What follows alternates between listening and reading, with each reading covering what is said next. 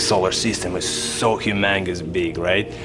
But if you see that like our solar system and our galaxy and like on the side, you know, like it was so small, you can't even see it. Our galaxy is like, huge. But if you see the big picture, our galaxy like small, tiny, like dot in the universe, like, and you think like, and we have some problems here on the Earth we worry about compared to like